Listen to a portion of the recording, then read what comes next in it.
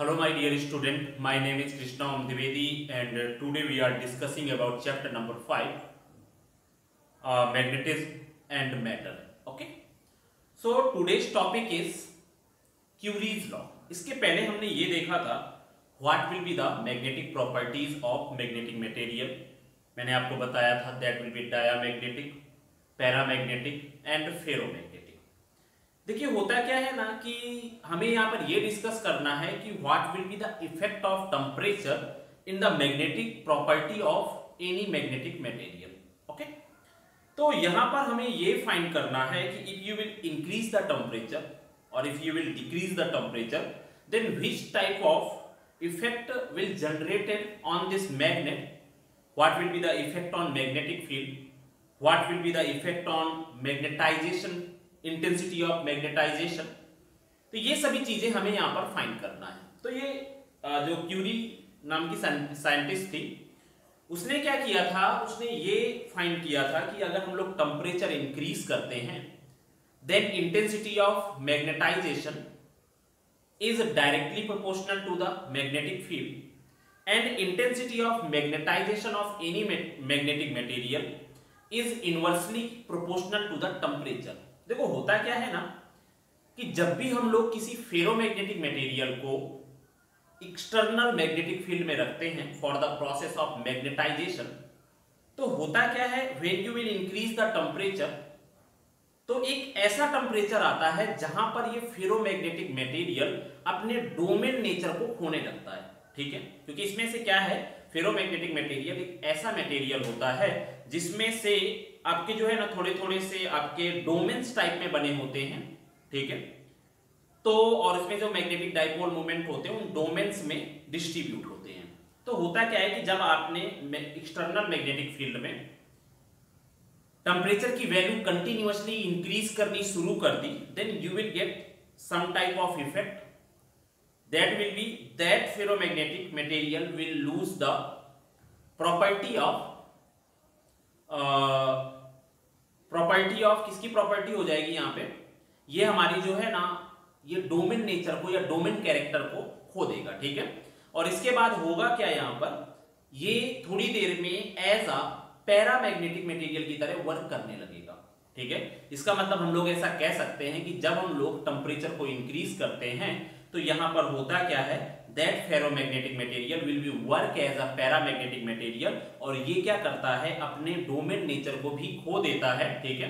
And after that जो उसके अंदर के डाइपोल मूवमेंट्स होते हैं that will be randomly oriented ठीक है? तो यहाँ पर हमें ये देखना है कि what will be the effect of temperature in the magnetic material तो चलिए देखते हैं यहाँ पे। When we when we put when we put ferromagnetic material ferromagnetic material magnetic material in external magnetic field in external magnetic field magnetic field. Then then these material these material lose its its domain nature domain nature and after some time after some time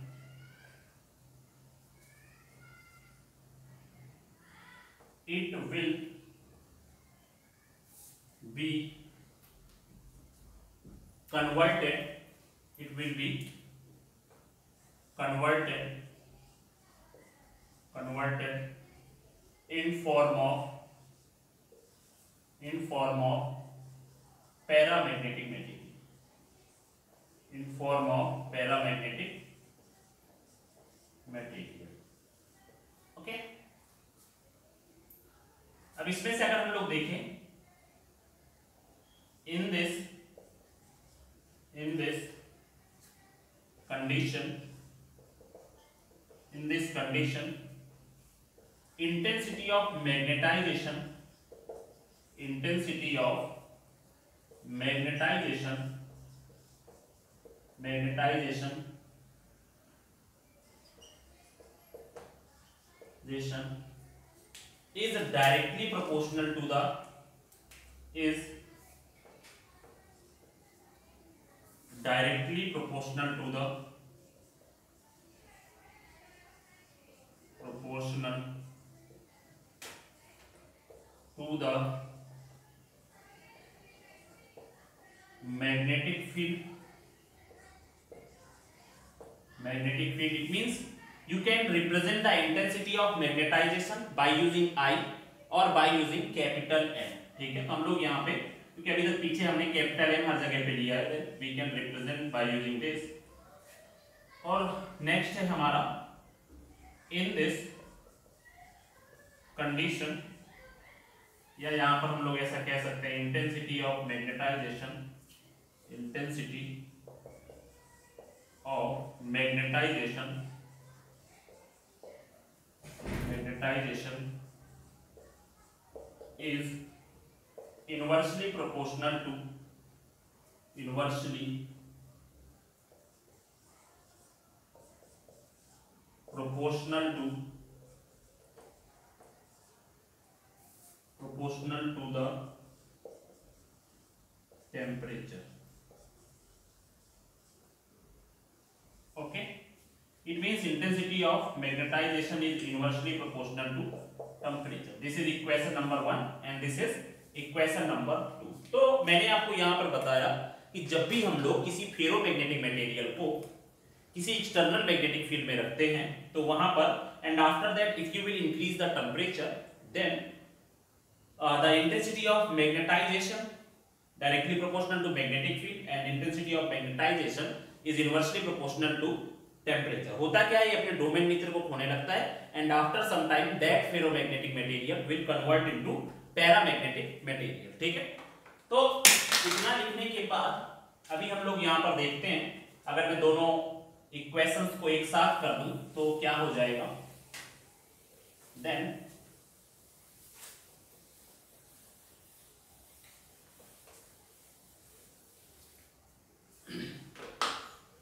यहाँ पर अगर हम लोग देखें तो from equation first and second from equation first and second तो हमें यहाँ पर क्या मिलेगा? M is directly proportional to यहाँ पर कितना आएगा? बी अपॉन में टी या combined equation first and second okay अभी मैंने क्या किया? यहाँ पर एक कांस्टेंट ले लेते हैं then m is equal to कितना हो गया? यहाँ पे c कांस्टेंट ले लिया that is known as a Curie's constant ठीक है? c is known as a Curie's constant ठीक है? ये हमारा हो गया। अभी हमें क्या करना है? Now we know that we know that b is equal to कितना होता है? b इज़ इक्वल टू होता है mu naught h. And we also know that m is equal to कितना होता है? जाई m इंटू में h होता है, ठीक है? तो एक एक करके वैल्यू पुट करते हैं तो यहाँ पर m इज़ इक्वल टू कितना हो जाएगा? C की जगह c रख दिया। यहाँ पर c की जगह पे c रख दिया। The value of b is equal to mu naught में h अपॉन में t this is another formula of magnetization ये हमारा एक फॉर्मूला ऑफ़ मैग्नेटाइजेशन हो गया। After that we can replace m by h then now now h is equal to c mu naught h by में कितना हुआ t हो जाएगा h से h कट गया तो यहाँ पर कितना हो जाएगा यहाँ पे is equal to chi m is equal to c या mu naught c mu naught c upon में t ठीक है ये हमारा हो गया जाइयम और टी के बीच का रिलेशन ठीक है? Means we can say that the susceptibility of that magnetic material is inversely proportional to the temperature ठीक है? अगर टेम्परेचर को इंक्रीज करोगे then susceptibility will decrease and if you will decrease the temperature then susceptibility will increase okay तो इसमें से अभी अगर हम लोग यहाँ पर देखें if you will draw the graph between जाइयम and T तो यहाँ पर कितना हो जाएगा? दिस वन विल बी यहाँ पे टेम्परेचर हो गया and this is equal to जाइयम इसका कुछ ग्राफ कैसा बनेगा? कुछ इस तरह से आपका ग्राफ बनेगा, ठीक है? इसके बाद में अगर आप यहाँ पर m और b और t के बीच का ग्राफ ड्रॉ करना चाहो देन यहाँ पे b अपॉन t, और इसके बाद में m के बीच का ग्राफ तो ये ग्राफ हमारा कैसा हो सकता है? This graph will be like this ये कुछ कम से कम समथिंग मतलब एक स्ट्रेट लाइन ग्राफ क्योंकि बीच of because these are directly proportional to each other तो हम लोग ऐसा कह सकते हैं। ये कुछ इस तरह का ग्राफ हमें मिलेगा, ठीक है?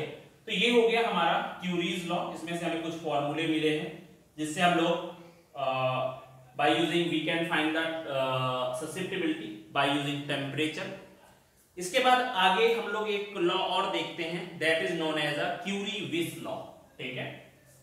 चलिए देखते हैं यहाँ पे। नेक्स्ट लॉ है क्यूरी विस लॉ ये भी सेम इसी से रिलेटेड है कि अगर हमें क्या करना है प्रॉपर्टीज़ ऑफ़ मैग्नेटिक मटेरियल के बारे में, या मैग्नेटिक ससेप्टिबिलिटी हम लोग पैरामैग्नेटिक रीजन में अगर हम लोग डिस्कस करें तो वो क्या कहलाता है? Curie's Weiss law Curie, Weiss law. ये कौन सा लॉ होता है कि जब हम लोग, when we will discuss about magnetic susceptibility of a ferromagnetic region ठीक है? क्यूरी क्यूरीविस लॉ क्या होता है कि जब हम लोग किसी भी मैग्नेटिक मटेरियल की मैग्नेटिक ससेप्टिबिलिटी को फेरोमैग्नेटिक रीजन में ना डिस्कस करके हम लोग उसकी पैरामैग्नेटिक रीजन में डिस्कस करें तो वो क्या कहलाता है? वो आपका क्यूरी विस लॉ कहलाता है, ठीक है? तो हम लोग ऐसा कह सकते हैं, क्यूरी विस लॉ में in this in this law in this law we will discuss about discuss about magnetic susceptibility magnetic susceptibility magnetic susceptibility uh, in this law we will discuss about magnetic susceptibility of ferromagnetic material of ferromagnetic material. In the in the region, in the region of para magnetic material ठीक है? मतलब यहाँ पर क्या होता है कि हम लोग जो है ना क्यूरी टेम्परेचर के कंपैरिजन में भी हम लोग यहाँ पे ज़्यादा टेम्परेचर का यूज़ करते हैं तो यहाँ पर हम लोग ससेप्टिबिलिटी की स्टडी हम लोग ज़रूर फेरोमैग्नेटिक मटेरियल पे करते हैं, पर इतने हाई टेम्परेचर पे करते हैं, जहाँ पर वही फेरोमैग्नेटिक मटेरियल किसमें कन्वर्ट हो रहा होता है पैरामैग्नेटिक मटेरियल में कन्वर्ट हो रहा होता है, ठीक है? तो इसमें से क्या हो जाएगा? देन यहाँ पर हो जाएगा the formula for this is equal to magnetic susceptibility magnetic susceptibility जाइएम is equal to कितना हो जाएगा सी अपॉन में टी माइनस में टी ठीक है? जहाँ पर T is a absolute temperature T is a absolute temperature. Tc is a Curie's temperature, ठीक है? Curie's टेम्परेचर ठीक है? इस कंडीशन में हम लोग ये भी दिखा सकते हैं कि when we when increase the temperature when we increase the temperature increase the temperature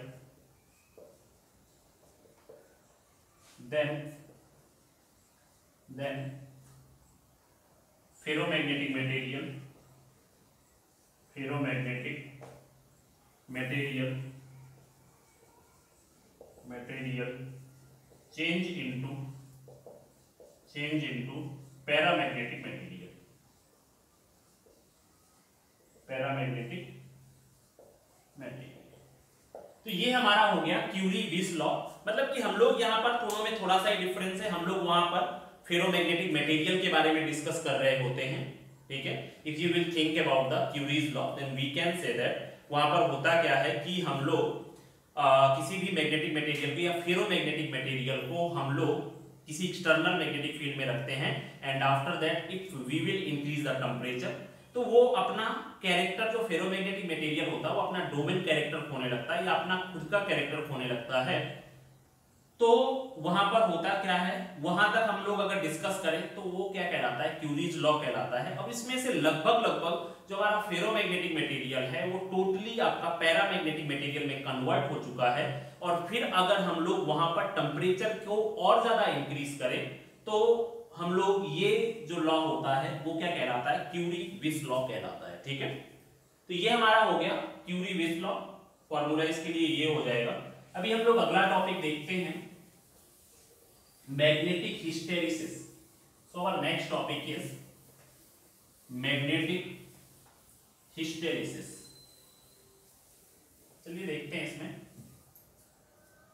हमारा नेक्स्ट टॉपिक है मैग्नेटिक हिस्टेरिसिस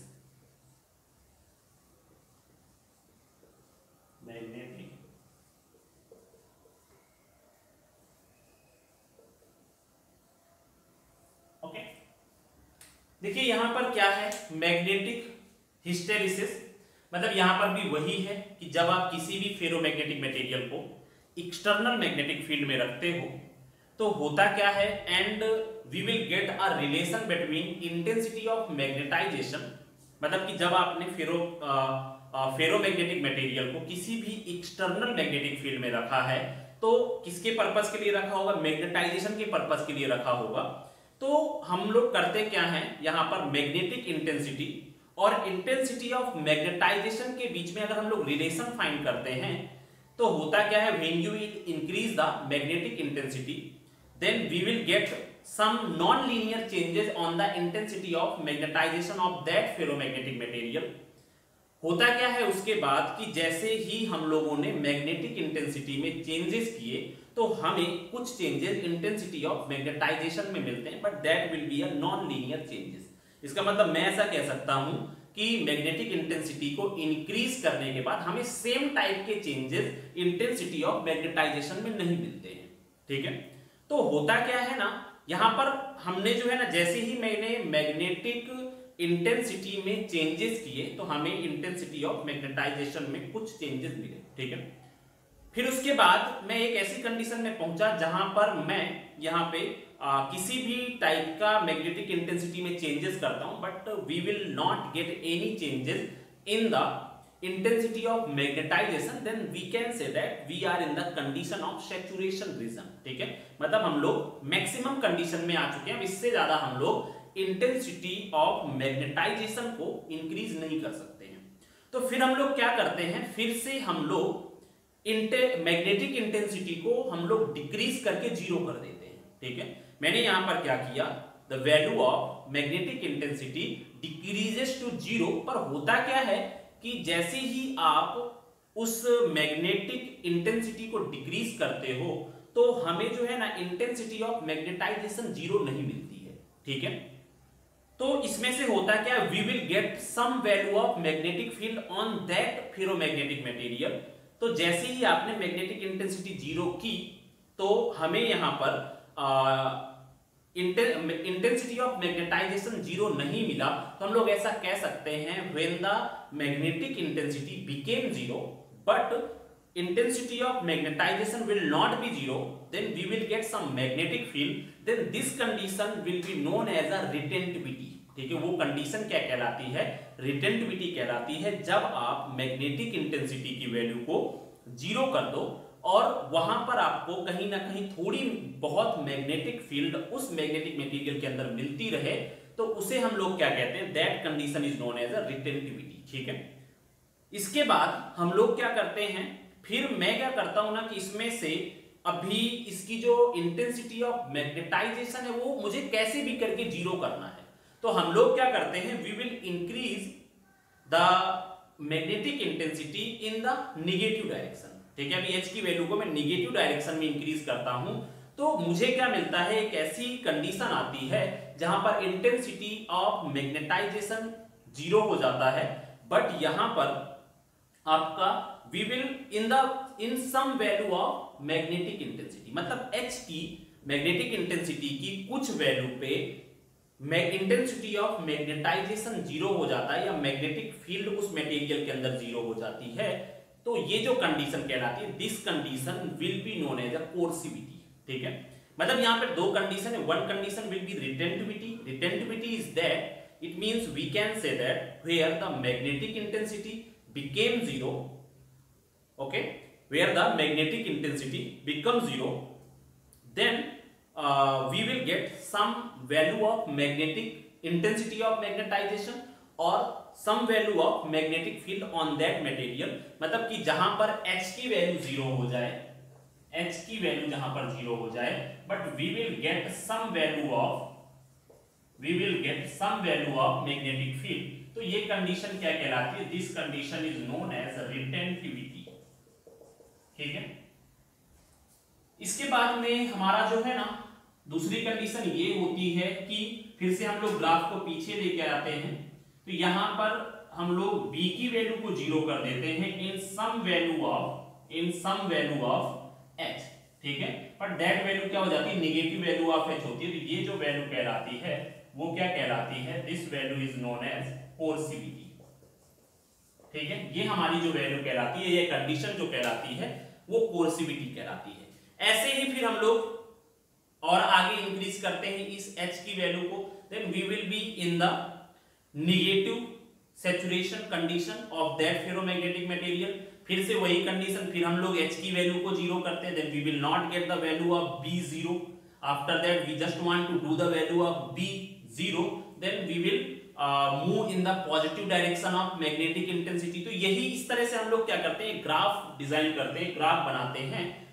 तो वही कंडीशन हमारी क्या कहलाती है? हिस्टेरिसिस कहलाती है। ठीक है, चलिए देखते हैं इसमें से। मैंने यहाँ पे बताया हिस्टेरिसिस क्या होता है कि जब भी आप किसी भी फेरोमैग्नेटिक मटेरियल को मैग्नेटिक फ़ील्ड में रखते हो तो यहाँ पर for the process of magnetization तो इसमें से हम लोग एक एम और मतलब intensity of magnetization and magnetic intensity के बीच में ग्राफ बनाते हैं। ठीक है? होता क्या है कि कभी कभी आप मैग्नेटिक इंटेंसिटी की वैल्यू को ज़ीरो ले लेते हो, पर आपको इंटेंसिटी ऑफ़ मैग्नेटाइजेशन की वैल्यू ज़ीरो नहीं मिलती है। उसका रीजन क्या होता है? उसका रीजन ये होता है कि उसके अंदर के, उस फेरोमैग्नेटिक मटेरियल के अंदर के, जब आपने किसी को एक्सटर्नल मैग्नेटिक फ़ील्ड में रखा हुआ है तो वो क्या हो जाते हैं? उसके अंदर के जो डाइपोल मूवमेंट होते हैं, वो मैग्नेटाइज हो जाते हैं, ठीक है? पर आपने अचानक से उसकी वैल्यू एच की वैल्यू या मैग्नेटिक इंटेंसिटी की वैल्यू ज़ीरो कर दी तो होता क्या है कि ज़ीरो करने के बाद भी उसके कुछ मैग्नेटिक जो मूवमेंट होते हैं ना, वो उसी डायरेक्शन में अलाइन रहते हैं। पुरानी डायरेक्शन में ही अलाइन रहते हैं। यही रीजन होता है कि मैग्नेटिक इंटेंसिटी ज़ीरो करने के बाद भी हमारी इंटेंसिटी ऑफ़ मैग्नेटाइजेशन ज़ीरो नहीं होती है। ठीक है? क्योंकि यहाँ पर होता क्या है नॉर्मल सी बात है। आप पंद्रह दिन से सोए पड़े हुए हो, आपके घर में आग लग जाती है, फिर भी आप बहुत आराम से आपके अंदर आएगा कि भाई, नहीं, मुझे भागना चाहिए। फिर भी क्या होता है, फिर भी आप उसी तरह से पड़े रहोगे, आप उतनी आसानी से रिस्पॉन्स नहीं कर पाओगे।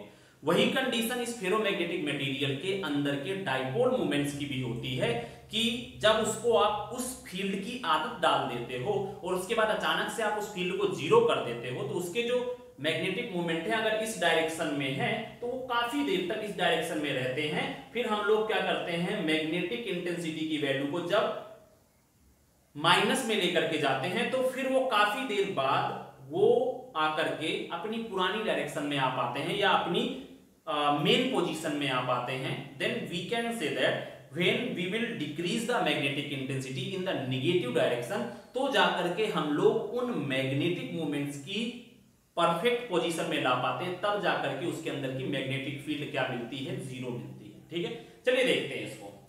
मैग्नेटिक हिस्टेरिसिस क्या होती है? हम लोग ऐसा कह सकते हैं when we put a ferromagnetic ferromagnetic material, ferromagnetic material a external magnetic field external magnetic field ठीक है? For the magnetization for the magnetization for the magnetization ठीक है?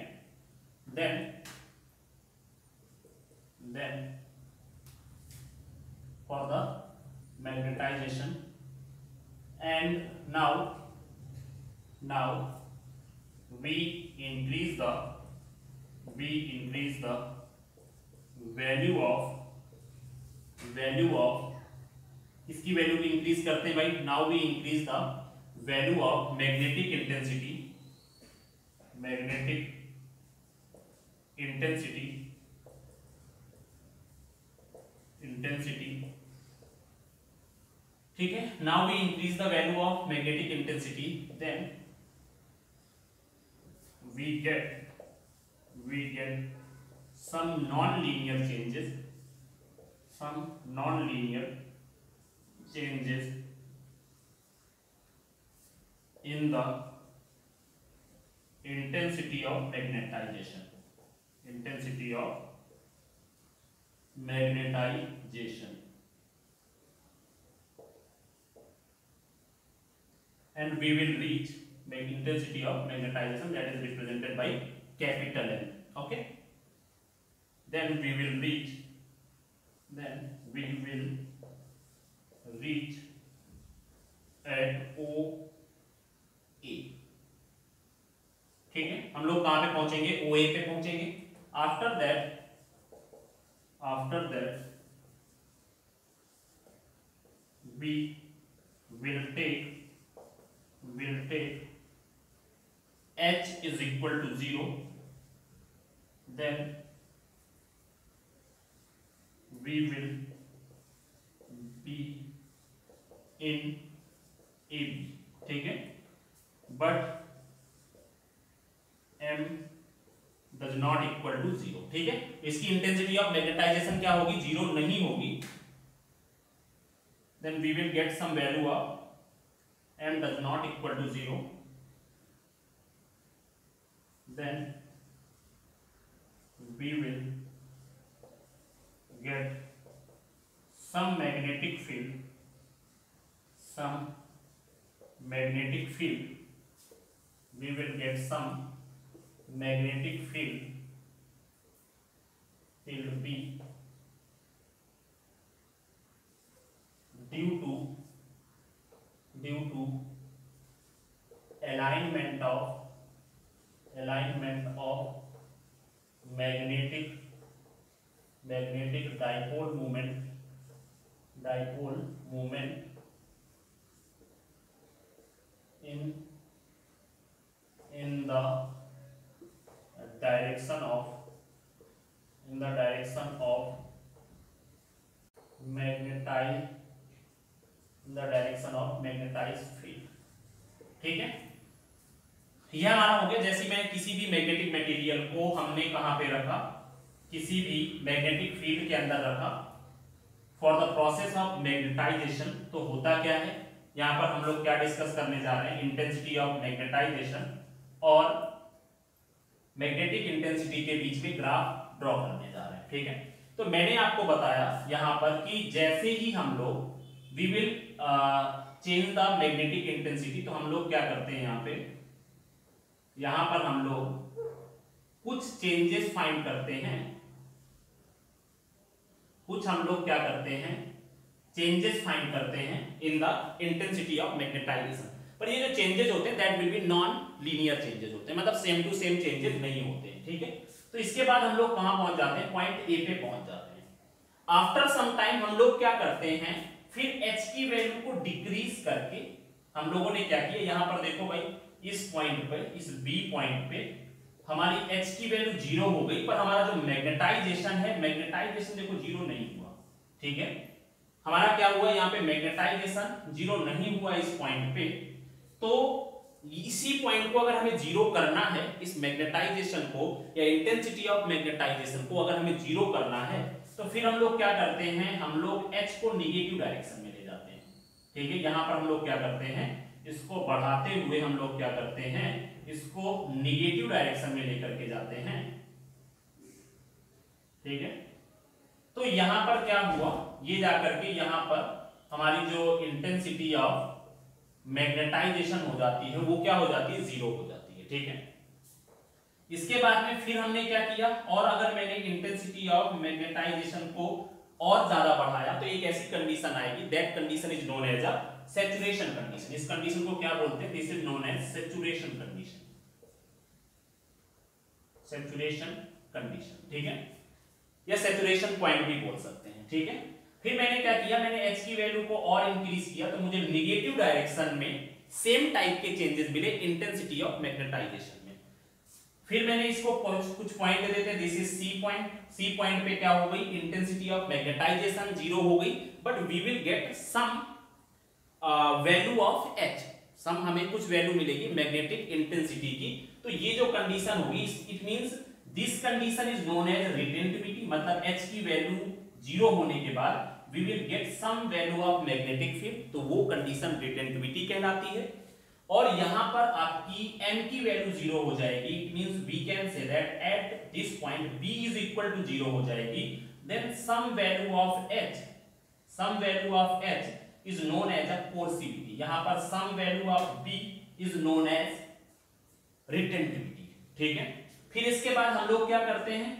फिर हम इंटेंसिटी ऑफ़ मैग्नेटाइजेशन को ज़ीरो करने के लिए हम लोग फिर से H को ज़ीरो करते हैं। कुछ इस तरह से हम लोग एच को फिर से ज़ीरो करते हैं। फिर हमारी क्या होगी? इंटेंसिटी ऑफ़ मैग्नेटाइजेशन ज़ीरो नहीं होगी तो फिर हम लोग एच को कहाँ पर ले जाएँगे? इसको पॉजिटिव डायरेक्शन में ले जाएँगे। This one will be in positive direction ये कुछ ऐसी हमारी बन जाएगी, ठीक है? ओके तो हम लोग क्या करते हैं? यहाँ पे कुछ point is equal to D यहाँ पर ई E और यहाँ पर कितना हो जाएगा? एफ़ हो जाएगा। ठीक है? तो ये हमारा क्या कहलाता? This is known as magnetic hysteresis या this is known as hysteresis curve hysteresis curve ठीक है? अगर इस कर्व को आप समझो, मैंने बोला कि सबसे पहले हम लोग क्या करते हैं? मैग्नेटिक इंटेंसिटी को थोड़ा सा इंक्रीज करते हैं। जैसे हम लोग मैग्नेटिक इंटेंसिटी को इंक्रीज करेंगे तो हमें कुछ इंटेंसिटी ऑफ़ मैग्नेटाइजेशन में चेंजेस मिलेंगे। तो हमारी जो है ना, ये ग्राफ बनेगा, ठीक है? हम लोग कहाँ से जाएँगे? ओ से ए पर पहुँच जाएँगे। उसके बाद हम लोग कंटिन्यूअसली एच की वैल्यू को बढ़ाते रहेंगे बढ़ाते रहेंगे। तो एक ऐसी कंडीशन आएगी, जब हमें इंटेंसिटी ऑफ़ मैग्नेटाइजेशन में कोई भी चेंजेस नहीं मिलेंगे। That condition is known as a saturation condition फिर उसके बाद मैंने क्या किया? अब मैंने वापस जो है ना धीरे धीरे एच की वैल्यू ज़ीरो कर दी, ठीक है? जब मैंने x की वैल्यू ज़ीरो की तो उसमें से मुझे सेम टाइप के चेंजेस नहीं मिले, या मुझे फिर से वो पुराना कर्व नहीं मिला, हमें डिफरेंट टाइप की कंडीशन मिली तो जब मैंने x की वैल्यू ज़ीरो की, पर हमारी जो मैग्नेटाइजेशन है, वो ज़ीरो नहीं हुई, और हम लोग कहाँ पर आ गए? ए पॉइंट से बी पॉइंट पे आ गए। बी पॉइंट पे होता क्या है? मैग्नेटिक इंटेंसिटी हमारी ज़ीरो होती है, पर इंटेंसिटी ऑफ़ मैग्नेटाइजेशन ज़ीरो नहीं होता है। Then we will get some value of magnetic field तो यहाँ पर B की कुछ वैल्यू होती है, पर हमारा H ज़ीरो होता है। ये कंडीशन क्या कहलाती है? This condition is known as retentivity तो जो हमारी ये कंडीशन कहलाती है this condition is known as a retentivity ठीक है? फिर इसके बाद हम लोग क्या करते हैं? फिर हम लोग उस एम की वैल्यू को ज़ीरो करने के लिए या उस फेरोमैग्नेटिक मटेरियल के अंदर की मैग्नेटिक फ़ील्ड को ज़ीरो करने के लिए हम लोग H को निगेटिव डायरेक्शन में लाना शुरू कर देते हैं, ठीक है? और H को निगेटिव डायरेक्शन में लाने पे C पॉइंट पे हमें एक ऐसी कंडीशन मिलती है जहाँ पर हमारी इंटेंसिटी ऑफ़ मैग्नेटाइजेशन या मैग्नेटिक फ़ील्ड ज़ीरो हो जाती है, ठीक है? तो यहाँ पर हमें H की कुछ वैल्यू मिलती है तो इस C पॉइंट की जो कंडीशन होती है that condition is known as coercivity this condition is known as coercivity मतलब कि जहाँ पर b की वैल्यू ज़ीरो होगी and we will get some value of h. That condition is known as coercivity तो देखो, अगर न्यूमेरिकल आता है ना, उसने ये बोलता है कि इसकी रिटेंटिविटी ये है तो अगर रिटेंटिविटी आपकी दी गई होगी तो इसका मतलब हमें वहाँ पर क्या फाइंड करना पड़ेगा? वहाँ पर हमें मैग्नेटिक फ़ील्ड की वैल्यू को फाइंड करना पड़ेगा। वहाँ पे मैग्नेटिक इंटेंसिटी की वैल्यू को फाइंड नहीं करना पड़ेगा। ठीक है? इसके बाद में ये जो सी पॉइंट अगर आपके पास कोर्सिविटी दी गई है न्यूमेरिकल में then you have to calculate the value of H not the value of B because at this point magnetic field will be zero and we have to calculate magnetic intensity ठीक है?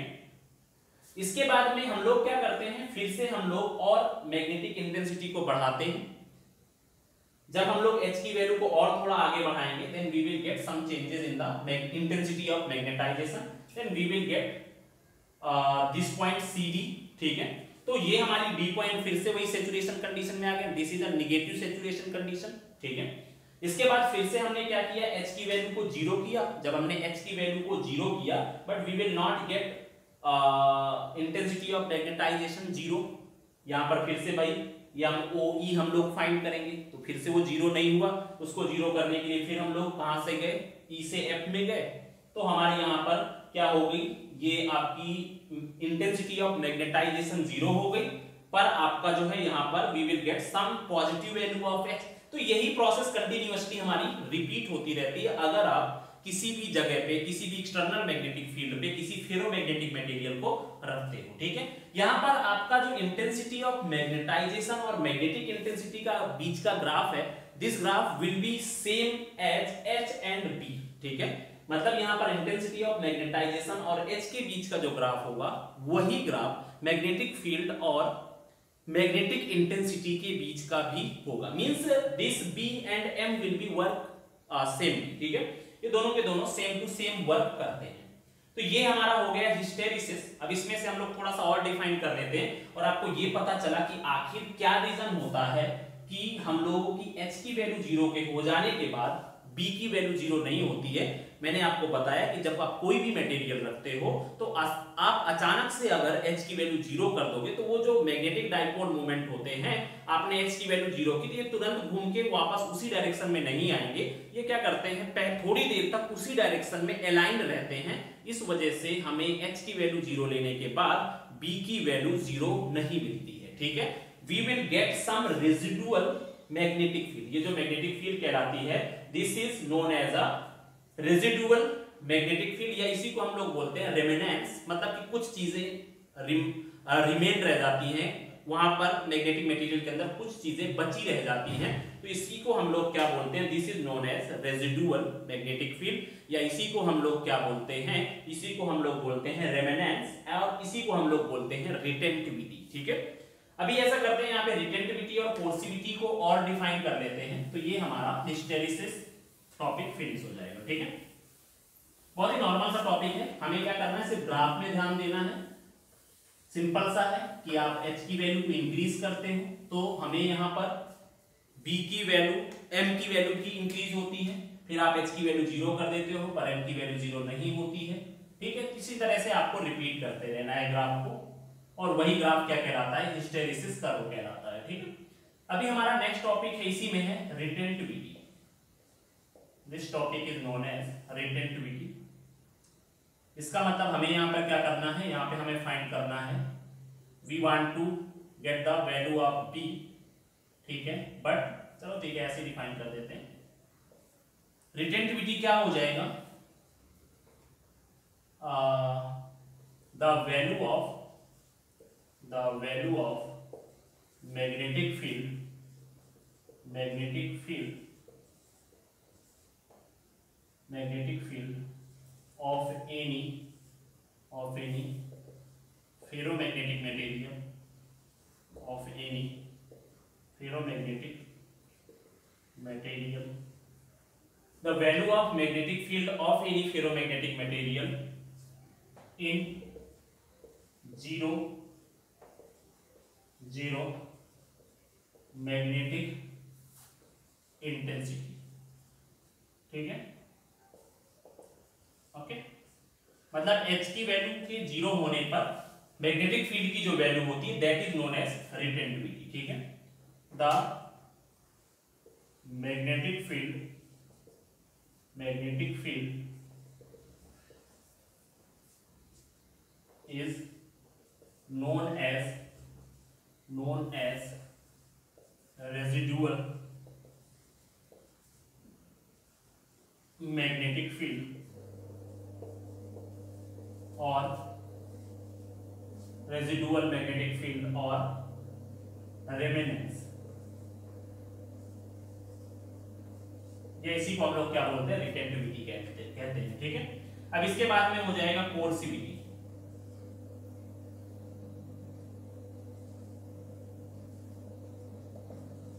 कोर्सिविटी क्या होता है coercivity to destroy to destroy the residual magnetic field मतलब जो बची हुई magnetic field है to destroy the residual magnetic field magnetic field of that material, of that material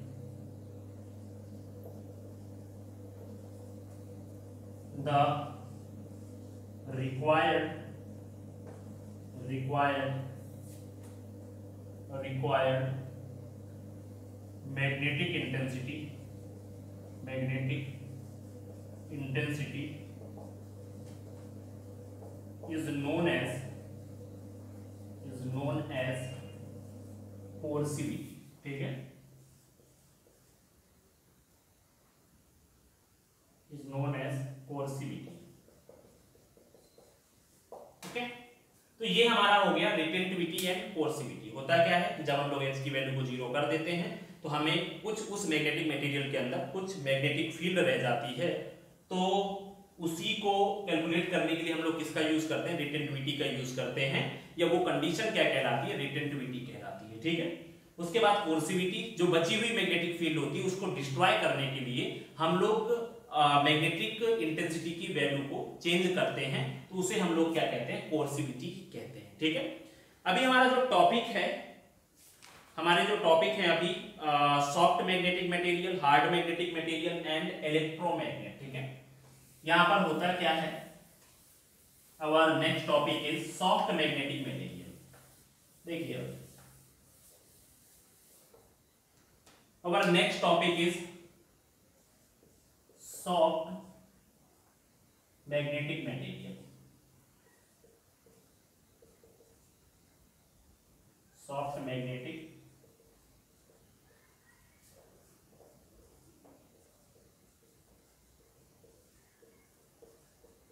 soft magnetic material ठीक है? देखिए सॉफ्ट मैग्नेटिक मटेरियल क्या होते हैं? कुछ ऐसे मैग्नेटिक मटेरियल होते हैं जिसका कोर्सिव फोर्स जो होता है ना, वो क्या होता है? काफ़ी कम होता है। ठीक है? या लो कोर्सिव फोर्स होता है लो रिटेंटिविटी होती है। तो ऐसे मैग्नेटिक मटेरियल को हम लोग क्या कहते हैं? ऐसे मैग्नेटिक मटेरियल को हम लोग सॉफ्ट मैग्नेटिक मटेरियल कहते हैं, ठीक है? मतलब यहाँ पर हम लोग ऐसा कह सकते हैं, कुछ ऐसे मैग्नेटिक मटेरियल जो आसानी से अपने अंदर की मैग्नेटिक इंटेंसिटी को या मैग्नेटिक फ़ील्ड को क्या कर देते हैं? लूज कर देते हैं। तो उसे हम लोग क्या कहते हैं? उसे हम लोग सॉफ्ट मैग्नेटिक मटेरियल कहते हैं, ठीक है? देखिए यहाँ पे सॉफ्ट मैग्नेटिक मटेरियल में soft magnetic material this material this magnetic material magnetic material are used to make electromagnet ठीक है? ये ऐसे मैग्नेटिक मटेरियल जो कि इलेक्ट्रोमैग्नेट का बनाने में काम आते हैं, उसे हम लोग क्या कहते हैं? सॉफ्ट मैग्नेटिक मटेरियल कहते हैं। मेक इलेक्ट्रोमैग्नेट ये हो गया दूसरा हमारा। इसकी जो है कोर्सिविटी क्या होती है? यहाँ पर इसकी जो कोर्सिविटी होती है लो कोर्सिविटी लो कोर्सिविटी इसकी भी आपकी low retentivity low retentivity low hysteresis loss low hysteresis या स्मॉल हिस्टेरिसिस लॉस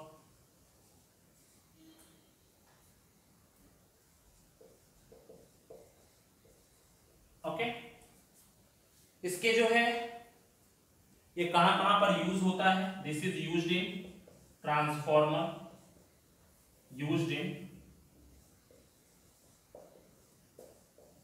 transformer ठीक है? And used in used in magnetic shielding magnetic shielding okay देखो, होता क्या है ना कि अगर आप इसका हिस्टेरिसिस कर्व बनाओगे ना, इसका हिस्टेरिसिस कर्व कैसा होता है? इसका हिस्टेरिसिस कर्व बहुत ही पतली हिस्टेरिसिस आपकी जो होती है, यहाँ पर सिंपली हम लोग ऐसा कह सकते हैं इट विल बी लाइक ठीक है? ये कुछ इस तरह से।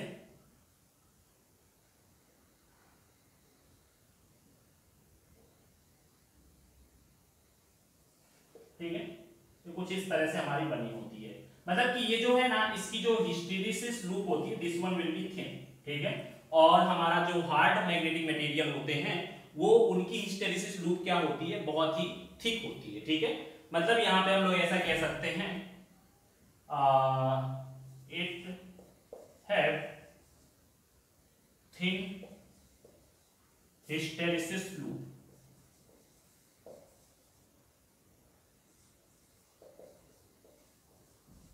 ये हमारा हो गया सॉफ्ट मैग्नेटिक मटेरियल सिंपल सा है। जो मैग्नेट और इलेक्ट्रोमैग्नेट को बनाने के लिए यूज़ होते हैं, जिनकी रिटेंटिविटी बहुत कम होती है फोर्सिविटी बहुत कम होती है हिस्टेरेसिस लॉस बहुत कम होता है ट्रांसफार्मर में जो मैग्नेट यूज़ होते हैं, जो मैग्नेट हमारे मैग्नेटिक सील्डिंग के लिए यूज़ होते हैं तो ऐसे मैग्नेट को हम लोग क्या कहते हैं? सॉफ्ट मैग्नेटिक मटेरियल कहते हैं, ठीक है? सेम इसी में क्या हो जाएगा? नेक्स्ट टॉपिक है हमारा हार्ड मैग्नेटिक मटेरियल यहाँ पर क्या हो जाएगा? Another topic is hard magnetic material तो सिंपली हम लोग ऐसा कह सकते हैं दोज मटेरियल या those magnetic material which are used for making a permanent magnet ये जो है ना, ऐसे मटेरियल जो कि हमारे परमानेंट मैग्नेट को बनाने के लिए यूज़ होते हैं, उसे हम लोग क्या कहते हैं? उसे हम लोग बोलते हैं हार्ड मैग्नेटिक मटेरियल इसकी फोर्सिविटी और रिटेंटिविटी क्या होती है? बहुत ही ज़्यादा होती है, ठीक है? हाई फोर्सिविटी इसकी रजिस्टिविटी क्या होती है, रिटेंटिविटी क्या होती है, हाई होती है? इसमें से जो हिस्टेरिसिस लॉस होता है, वो क्या होता है? हाई हिस्टेरिसिस लॉस होता है, ठीक है? और ये किसके लिए यूज़ होती है? इसके एग्जांपल्स में। कौन कौन से आ जाएँगे भाई? आयरन निकल ठीक है? कोबाल्ट ठीक है? ये ऐसे मटेरियल क्या कहलाएँगे? और इसकी जो हिस्टेरिसिस लूप होती है, वो क्या होती है? बहुत ही थिक होती है। ठीक है? Thick hysteresis loop. ओके? हमारे हार्ड मैग्नेटिक मटेरियल वो होते हैं जिनकी हिस्टेरिसिस लूप क्या होती है? बहुत ही ठीक होती है। और ये परमानेंट मैग्नेट को बनाने के काम में आते हैं। उनके अंदर का कोर्सिव फोर्स क्या होता है? बहुत ही ज़्यादा होता है। ठीक है? आप इनके अंदर के मैग्नेटिज्म को आसानी से खत्म नहीं कर सकते हो। तो ऐसे मैग्नेटिक मटेरियल क्या कहलाते हैं? हार्ड मैग्नेटिक मटेरियल कहलाते हैं। सॉफ्ट मैग्नेटिक मटेरियल वो होते हैं जिनके अंदर लेस कोर्सिव फोर्स होता है। आप उनके अंदर की मैग्नेटिज्म को आसानी से खत्म कर सकते हो। तो ऐसे मटेरियल हमारे क्या कहलाते हैं? सॉफ्ट मैग्नेटिक मटेरियल जिनके अंदर की मैग्नेटिक प्रॉपर्टी को आप आसानी से खत्म ना कर सको। तो वो क्या कहलाते हैं? हार्ड मैग्नेटिक मटेरियल कहलाते हैं। ठीक है? ये उसकी प्रॉपर्टीज़ हो गई। Okay so now our next topic is electromagnet चलिए देखते हैं भाई। इलेक्ट्रोमैग्नेट क्या होता है? सिंपली हम लोग ऐसा कह सकते हैं कि when you will provide a current electromagnet जब आप किसी भी सोलेनॉइड के अंदर कोई भी सॉफ्ट आयरन रॉड रख देते हो, ठीक है? तो होता क्या है? और उसके बाद अगर आप उसको करंट उसमें करंट का फ्लो कराते हो, ठीक है? देखो भाई नॉर्मली अगर आप सोलेनॉइड ले लो, अगर आप नॉर्मली सोलेनॉइड लोगे और उसमें आप करंट का फ्लो कराओगे then you will get less magnetic field ठीक है? पर अगर आप क्या करो, यहाँ पर आप उस सोलेनॉइड के अंदर कोई भी सॉफ्ट आयरन रॉड रख दो तो होता क्या है कि उसके जो मैग्नेटिज्म में या उसकी मैग्नेटिक फ़ील्ड में या उसके मैग्नेटाइजेशन में हंड्रेड टाइम्स का इंक्रीमेंट आ जाता है, ठीक है? मतलब हम लोग ऐसा कह सकते हैं कि हमारा इलेक्ट्रोमैग्नेट क्या होता है कि जब भी हम लोग किसी भी बार मैग्नेट टाइप की चीज़ में या किसी भी सॉफ्ट आयरन रॉड के ऊपर हम लोग वायर को बाउंड करते हैं, ठीक है? तो वहाँ पर आपका जो डिवाइस बनती है, उसे हम लोग क्या कहते हैं? इलेक्ट्रोमैग्नेट कहते हैं। When you will provide any electric current on that electromagnet then it will get magnetic properties and when you will stop the flowing current, then it will be work as a normal material. ठीक है? तो ये हमारा क्या होता है? ये हमारा इलेक्ट्रोमैग्नेट है। सिंपली हम लोग कैसे कह सकते हैं? In case of in case of सबसे पहले तो इलेक्ट्रोमैग्नेट को डिफाइन कर देते हैं हम लोग। इसमें से electromagnet are electromagnet are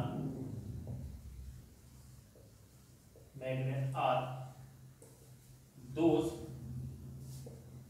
type of magnetic material, magnetic material electromagnet are दो type of magnetic material in which in which due to due to current flow due to current flow it will it will produce produce magnetic property, magnetic property. ठीक है? Electromagnet क्या होते हैं? Electromagnet हमारे कुछ ऐसे magnetic material होते हैं, जब उसमें आप कोई भी इलेक्ट्रिक करंट देते हो तो इसके अंदर कुछ मैग्नेटिक प्रॉपर्टीज़ इंड्यूस्ड हो जाती हैं। उसे हम लोग क्या कहते हैं? इलेक्ट्रोमैग्नेट कहते हैं। ठीक है? जैसे कि हम लोग देखें in any solenoid, in any solenoid, when we give current current then it will then it will produce produce magnetic field then it will produce magnetic field. And if now we can put uh, a soft iron rod or soft iron rod inside that solenoid inside that solenoid inside that solenoid then the value of then the value of magnetic field then the value of magnetic field increase increase 100 times of that previous magnetic field of that previous magnetic field ठीक है मतलब इस तरह से हम लोग क्या कर सकते हैं मैग्नेट इलेक्ट्रोमैग्नेट बना सकते हैं मतलब इलेक्ट्रोमैग्नेट ये मान लो हमारे ऊपर बार मैग्नेट हो गया, या कोई एक सॉफ्ट आयरन कोर हो गई, इसके चारों तरफ़ आप क्या कर दो वायर वाउंड कर दो, ठीक है? जैसे आप वायर वाउंड करोगे तो यहाँ पर एक तरफ़ से आप करंट का फ्लो कराओ एंड दूसरी तरफ़ से मतलब यहाँ पे इसको एक बैटरी के थ्रू अटैच कर दो, इसमें से क्या करेगा, ये एज आ इलेक्ट्रोमैग्नेट की तरह वर्क करने लगेगा। ये बहुत सारी जगहों यूज़ होता है, जैसे कि आपकी इलेक्ट्रिक बेल होती है, ठीक है?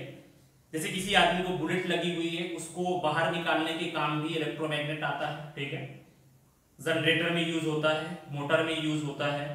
इसके बाद में हम लोग ऐसा कह सकते हैं कि ये जो है आपका क्रेन में यूज़ होता है, बहुत ही भारी मशीन और बहुत ही भारी सामान को उठा करके एक जगह से दूसरी जगह पे रखने के लिए हम लोग किसका यूज़ करते हैं? इलेक्ट्रोमैग्नेट का यूज़ करते हैं, ठीक है? इसमें से हम लोग ऐसा कह सकते हैं used in used in electric bell electric bell to remove to remove the bullet from human body from human body ठीक है to pick up to pick the heavy machines machines from one place to another place, one place to another place.